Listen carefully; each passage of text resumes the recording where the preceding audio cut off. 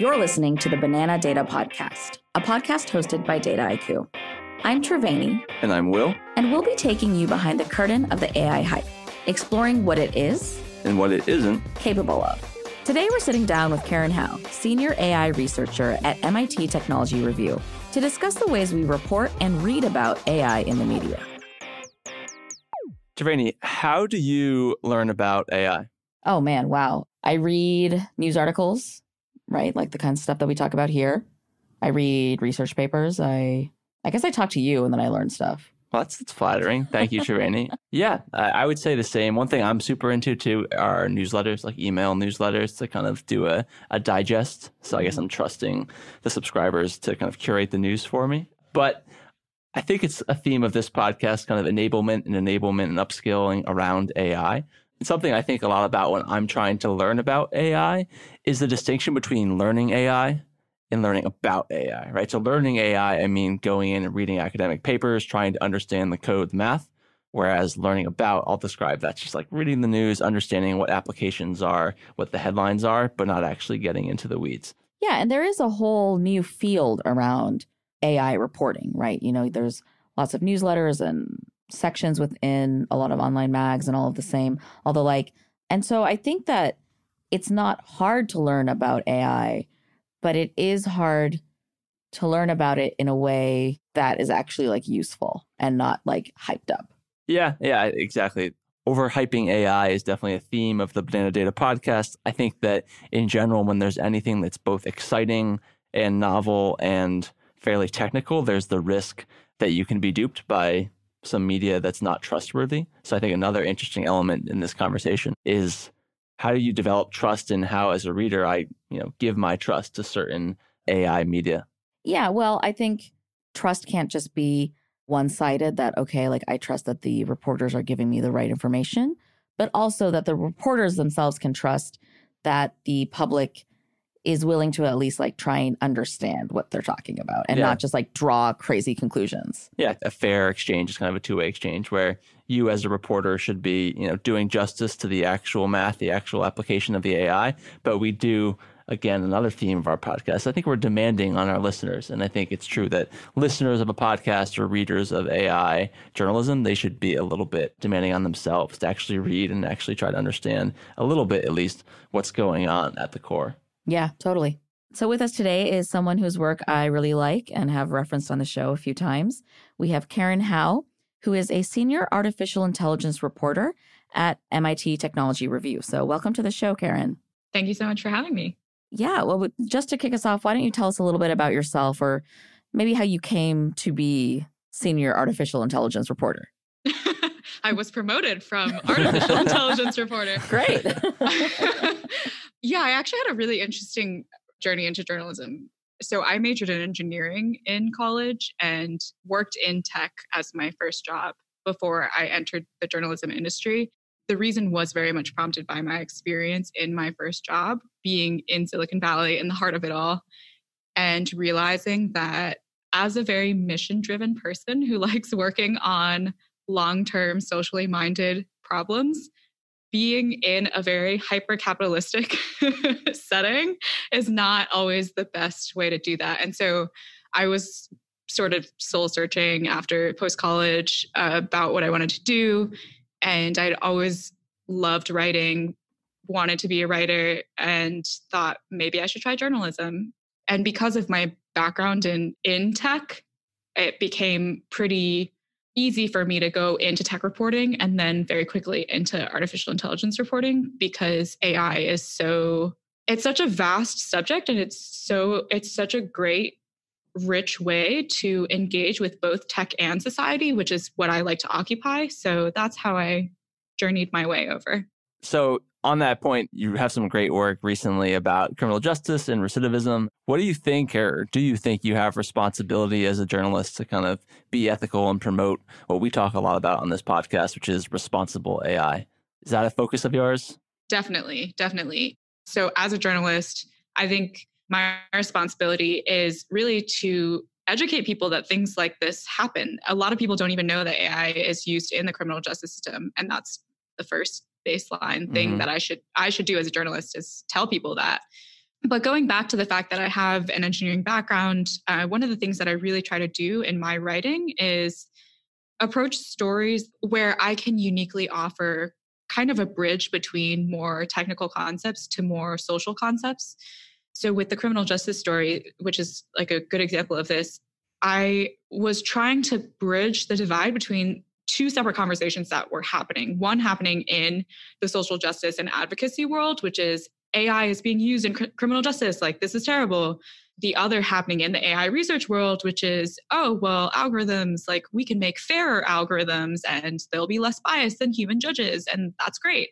So, I wanted to kind of show both sides of this debate that's happening, what this actually looks like. If we were to visualize how an algorithm works and the context in which it's being placed and like the history around it and the social consequence around it can you actually build a fair algorithm and how does it actually affect the defendants that this algorithm is being used on?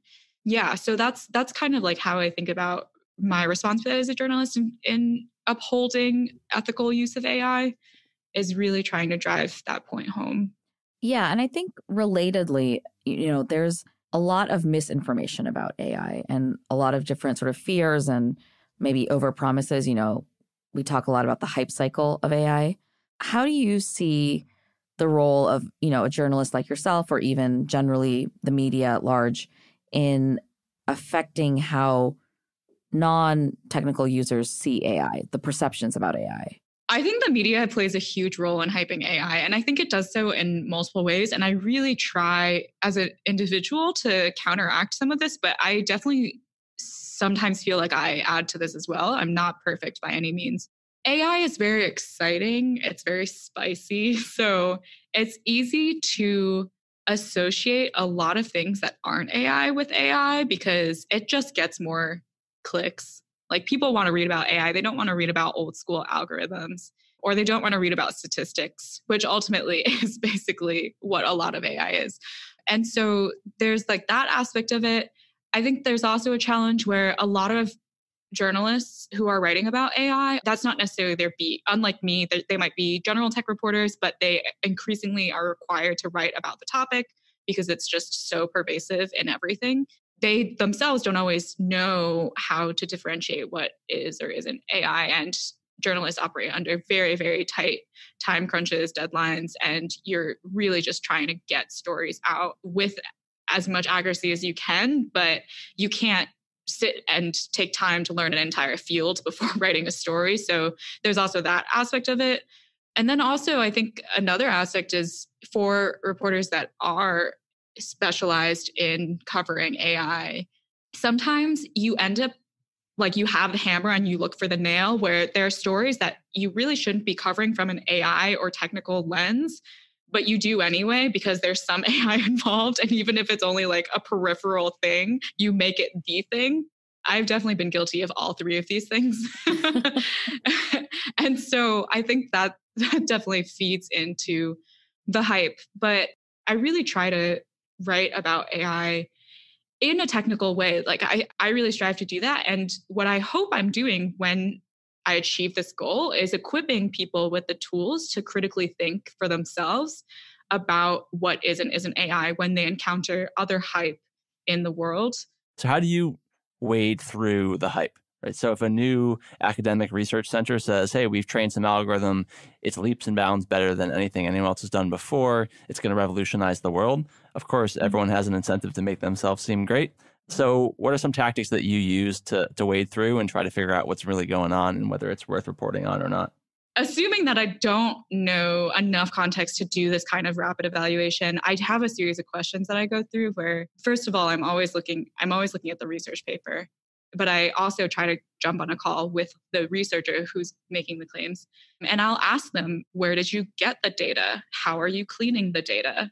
How is the data being processed in your algorithm? How are you building the algorithm? Like what tools are I basically walking through every aspect of the machine learning pipeline and getting them to state to me very explicitly what they did. Mm-hmm. And when someone is genuinely doing AI research, they can answer all of those questions very clearly and explain why what they did was different or innovative compared to other people. Do you ever encounter hurdles where people want to claim, rightfully or not, that it's proprietary information and you'll just have to, to tr- trust? Uh, then I don't write about it. wow. Yeah. Fortunately, I don't encounter those situations a lot because I am mostly writing about research that is in paper form and meant to be open source. Mm-hmm. So the details are already laid bare. But I what I always say is, look, I write for tech review and my readers want technical details. So if you can't provide them, I can't serve the reader by writing this story. Right. In some ways it sounds like you're kind of being like a governing board for some of these folks, right? Like, okay, where's the data? Was it biased? Did you debias it? What did you do? Right? Like these are I mean, these are important questions that you shouldn't have to ask, but we should all as like practitioners be asking of ourselves yeah that's totally questions that are that you can live by regardless of how you interact with ai whether you're the one creating it or the one purchasing it or the one interacting with it on your phone you know we're in a world these days where the news cycle you know the non-ai news cycle is pretty fast pretty hyperbolic and can get really extreme really fast so, do you feel that AI reporting is equally hyperbolic or maybe less so than, you know, the regular non-AI news? And I mean, not just what you do, but generally the field of AI reporting. Yeah, I, I, I haven't really thought about this very much, but my intuition is that it's more because of the gap in knowledge that people have in order to fully understand it and cover it well. And so it can be easy when you are time pressured and when you don't have that foundational knowledge to end up conflating a lot of concepts. Whereas there are many other things that journalists cover that are a lot more familiar and, and based on, on a lot more common concepts that we use day to day. So it's, it doesn't require such specialization. So, in line with that, what is the trade off for you? Or, like, what is the middle ground when you're writing an article between being really accurate and hyper specific at the risk of being kind of boring and too detaily. What's the trade off that you deal with, I guess? A writer is never writing alone. You have editors that are censoring you as well. so okay. I always err, um, maybe to the detriment of my editor, I always err on the side of more detail and then he will chop it out. when it gets too boring, he yeah. knows, and I trust him, his sense in being able to figure out which details actually benefit people's understanding versus which details will just get people to X out the window. In general, I think the other thing is if I can't explain the concept, I'm always thinking about like, can I explain this concept to not a five year old, but you know, the saying like say like I'm five or whatever. I try to think about that when I'm writing something. And if I can't explain the concept to that level because it starts getting like too much in the weeds, then that's usually when I'm like, okay, this is probably a little too much. Let me just dial it down and get it to a point where it's not inaccurate and it's not sensationalist, but it is also not like an academic paper. How do you go about upskilling technically. I mean, you were trained formally as an engineer, but the field rapidly evolves. And so, what are some techniques you use? I think a lot of listeners to this podcast are people who maybe were not trained as CS engineers, but they're interested in AI, they're working tangential or in the space. What are some strategies that you employ? I think the strategies that I employ are probably going to be slightly different from the ones that other people employ in that 70% of my job is consuming information. Like I'm paid to just learn and keep up with this beat. But there are a few things. So when I first started covering this, I actually took an intro to machine learning course at General Assembly and i did like their i don't i forget what it was like a 10 week intensive or whatever and went through the motions of learning basic data science that other people might learn if they wanted to go into data science and i also took a lot of online courses that were much less expensive and once i started actually writing this one of the fastest ways that i got up to speed was by reading papers. So mm-hmm. AI is awesome in that most of the papers are open source and they're all published on arXiv arxiv.org and so i would go on there every week and i would read five to ten papers every week And I would also be scanning through all of the paper titles to see like what topics were popping up with increasing frequency. And I would then focus on learning about those particular topics. And I also spent a lot of time looking online as well for there are a lot of people who have already done the heavy lifting of explaining certain concepts really, really well. Like there are certain YouTube channels, there's certain Medium articles, and other resources like that that really lay out some of the foundational concepts of machine learning. And I just went and reviewed all of them. And I and I also still I have them all bookmarked to reference repeatedly when I need inspiration. What are some things that you think the academics or kind of the practitioners are ignoring they should be focused more on? And what are some things mm-hmm. that you think are out there in the wild that are occurring, but media is ignoring or underreporting on? I actually think the thing I'm about to say applies to both people, both groups of people. The biggest thing that AI researchers and AI reporters don't cover is how it impacts people. I mean, it's obvious why this happens. AI researchers are working in labs. They're really focused on the theoretical math of it all oftentimes or the the engineering like how to actually implement this in practice. And they forget that the algorithms that they're building are actually in some instances sorting people's lives like determining the fates of people's lives or helping determine at least. And there's not enough research on their part or to actually like go out and see it's it's more than user research or like user experience research right? It's like stakeholder research going out and experiencing how the work that you're doing actually confronts the realities of society. I think one thing that we see a lot with a lot of like the more famous ai gone wrong right is like one how does something that's been done affect the immediate users? And then mm-hmm. how does it affect the people around them? Yeah. Yeah and I think AI reporters do this too, where that I struggle with this a lot. I have deadlines. I need to write a certain number of articles every week.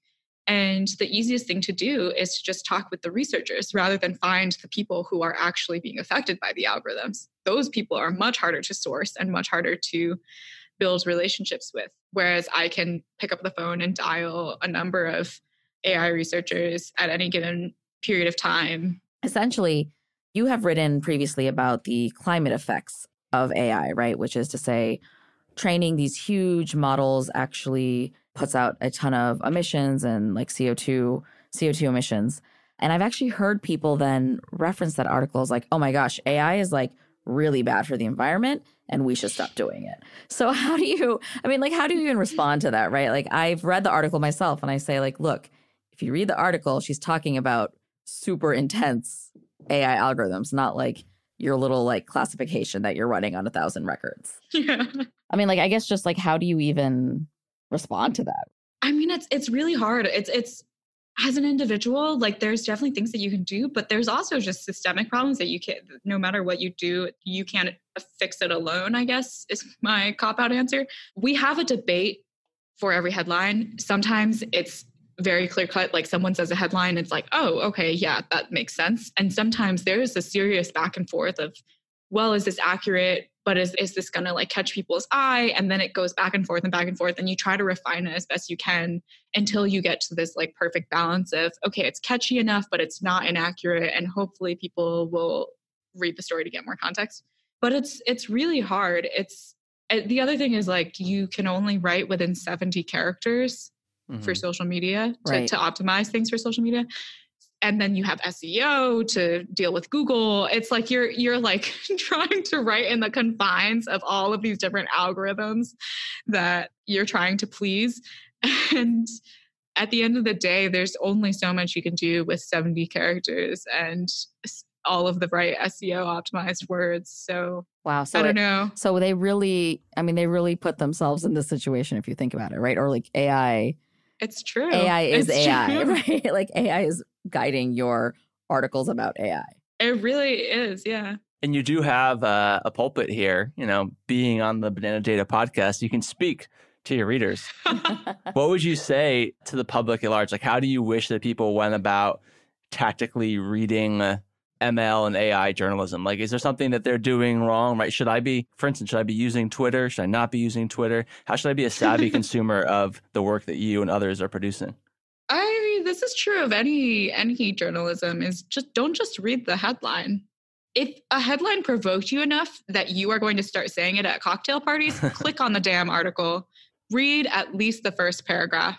Usually, the first paragraph has enough context to get you by to be a lot more nuanced than just the headline. But like obviously the even better version is to read the entire article and then subscribe to publications that write about this these topics very well. You know, I am subscribed to the the newsletter you put out, which is the, the algorithm. Is it called the algorithm? Yes. Yes. It's called Wow. the algorithm. Look at that. I I remembered the name correctly. okay. Well, so I mean, I think it's interesting, right? Just especially because we we have talked about some of your work on this podcast before and that climate article. I hope you didn't go back and listen to the episode where we were like, "Oh no, this article seems inaccurate." but uh it wasn't so much I think in what you were reporting, but sort of the conclusions that become easy to draw, right? So even if someone Yeah. does read this article or reads an article and has a preset sort of notion of what they want to get out of it, I do think that that probably affects what the media's role is.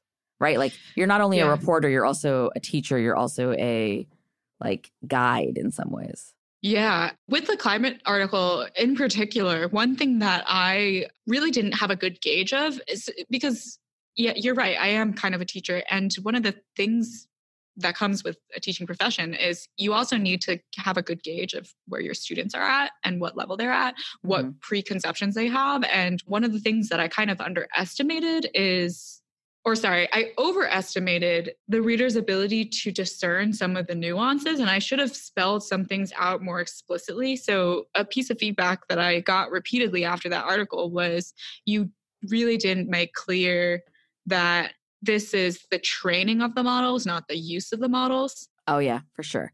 they were right. Like I, I assumed that if I just said training AI again and again and again, that that itself would make it clear. But I realized I also needed to provide a counterfactual and say, but by the way, this is not the use of AI.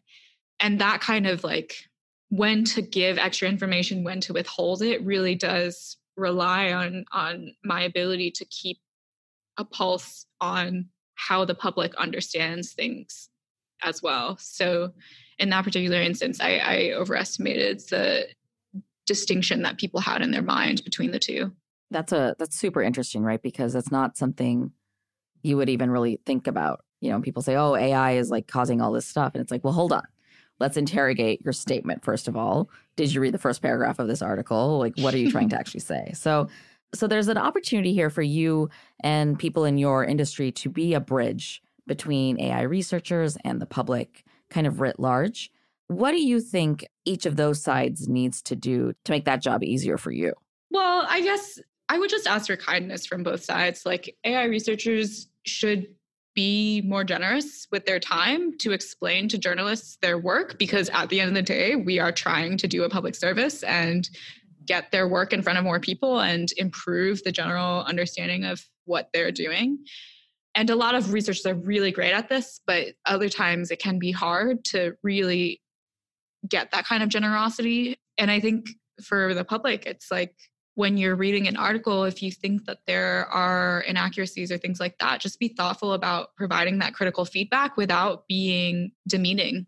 So, you know, we're still at the start of 2020 here. What are you most jazzed or excited about going into this new year? The thing that I'm most excited about is I feel there's been a genuine shift in the way that AI practitioners have started talking about ethics. I, I really do. I and I have not been covering this space for very long, but it's already been so clear of a difference between two years ago and this year.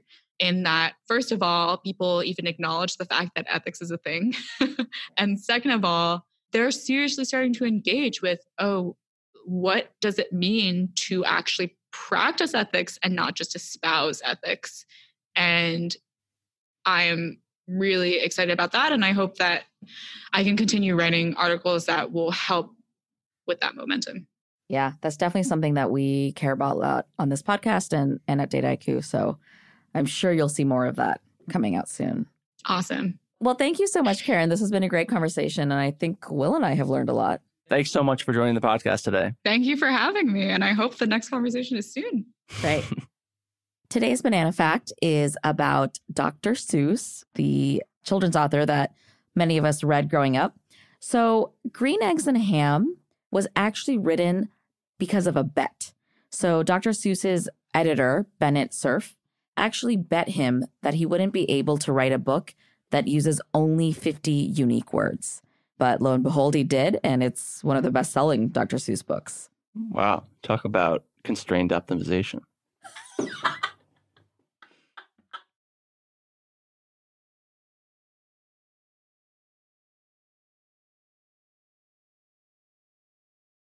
That's all we've got for today in the world of Banana Data. We'll be back with another podcast in two weeks, but in the meantime, subscribe to the Banana Data newsletter to read these articles and more like them.